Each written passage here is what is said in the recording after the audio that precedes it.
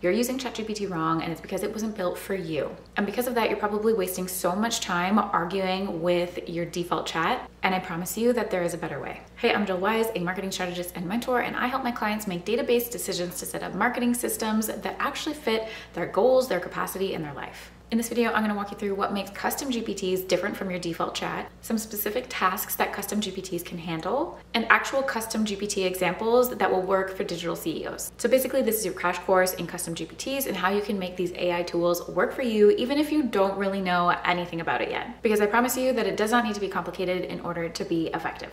Okay, so first, let's talk about what makes custom GPTs different from your default chat. If you've been using ChatGPT for a while, then you know that there are some upsides, some advantages and also some downsides. Specifically, I know that people say they are wasting so much time trying to use AI tools like ChatGPT because they don't know how to prompt it or they don't know what they want from it or they feel like they are wasting time arguing with it trying to get the output they want but they don't really know how and then at the end they're like I could have done this faster myself. There's also the challenge of the personality of your default chat that is very eager and helpful and obviously we kind of like that but at the same time we don't want to go down 10 different paths or have a bunch of different suggestions for things that we don't actually need to do. So many people leave conversations with their AI tools wondering why they have more on their list than before they started, and what's the most important thing that they were trying to do anyways. There's also the challenge of hallucinations and it just not really doing what you want it to do. Custom GPTs are the solution to fix that, and they are the tool that's missing so that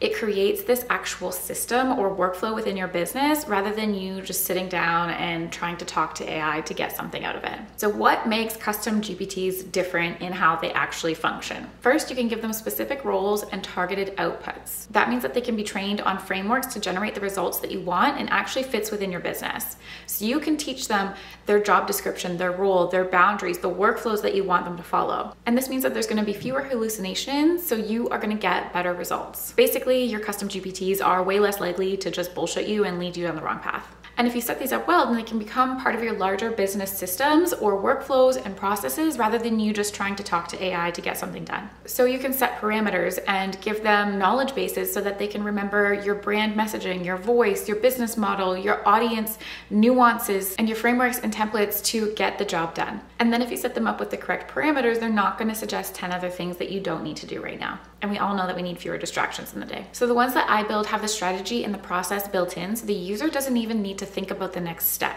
They're all designed to guide you through the process. And this is especially helpful for my clients because they're not the strategist. They come to me for the strategy, but this creates a self serve option for them to actually get more done on their own. And I love that for people because that kind of independence helps them move faster and get things done faster and then therefore grow faster. Next, let's talk about specific tasks that your custom GPTs can do for you. And I'm gonna clarify that a lot of these sound like things that just your default chat could do, but the problem is the output, the results are not gonna be consistent because when you are talking to your default chat, you are letting it decide what it thinks you want. And these tools, they want to get an A plus. They want to give you what they think that you want.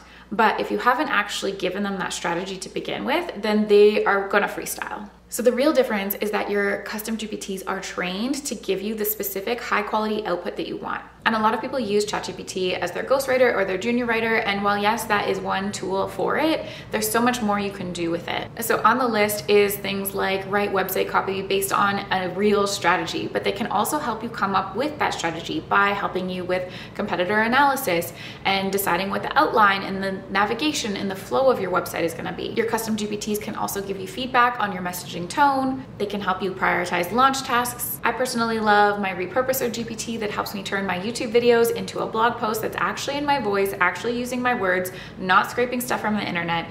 And then it can turn my blog post into multiple pieces of content that is all following my frameworks that I've decided. So in that case, it's not actually writing anything from scratch for me. I know that it's only using my words and my content and it'll leave me placeholders even when I need to fill in the blanks for different pieces of content. You can also have your custom GPTs help you create branded workflows and other business documents that you need to just like keep things running smoothly. So those are some ideas of tasks that you can have your custom GPTs do and like the outputs that you can have it create knowing that the quality is going to be higher than your default chat, but what about the roles of these assistants? So next I'm gonna give you some GPT examples that will work for a digital CEO. I keep coming back to this point, but really your custom GPTs are only gonna be good as the prompts that you give it and the training that you give it. Some people will give a short two to three sentence prompt when they are setting up their GPT and they will run with that. I've noticed that these ones don't work as effectively as you want them to, and there's still a lot of back and forth, and we wanna work smarter, not harder. So I look at building my custom GPTs like I would training a team member, and I give them all of the relevant information that I would a human team member so that they know what their role is and their parameters and what it is that I want them to create. So really my custom GPTs get an entire onboarding manual that they can follow and that means the output is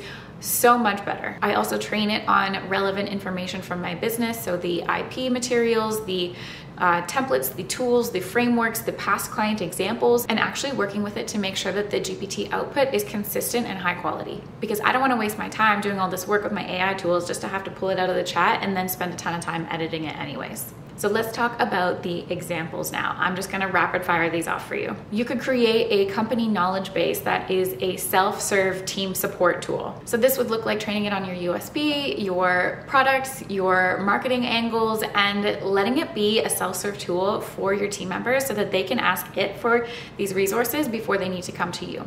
You could also build one that is your negotiation or your sales coach so that it's designed to help you role play in different scenarios and will give you strategic suggestions to improve for next time. Or you could make one that is your SEO website auditor and it's gonna look at your website and your competitors and give you a checklist of things that you can do to improve. Another idea is to create an onboarding assistant for any new team members so that they can get up to speed on everything that makes you and your brand so you. Again, eliminating the need for people to ask you all of the basic questions because it's all in there for them. Ones that I'm really excited about are onboarding assistants for clients. So instead of using static forms, you can use your GPTs to onboard clients and have a more interactive experience with them. And those ones also have the potential to give your clients quick wins before they even have their first call with you. And kind of along the same lines, depending on what your business model is, you could create a coaching assistant for clients so that they can self-serve resources and help navigate through libraries of resources so that they have those simple questions answered and more targeted like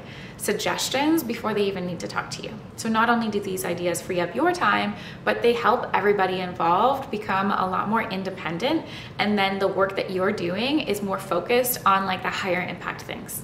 And then taking a step further, you could actually build AI agents that function outside of your ChatGPT. So these would be able to cross between different platforms and do things like your inbox management and your scheduling. These ones would integrate with the other platforms so they could still be the customer support kind of agent, but they just have more functionality across all of your platforms. Overall, you need to know that you do not need to settle for generic and there is a better way than just talking to chat all the time. And if you want to start running your business like a true CEO, then you need to look at these ways that you can systemize the tools that you have. It's all about working smarter and not harder to come up with something that's going to actually work for you. If you like this video, then let me know. And if you have any questions, leave them in the comments below. And otherwise, I will see you in the next one.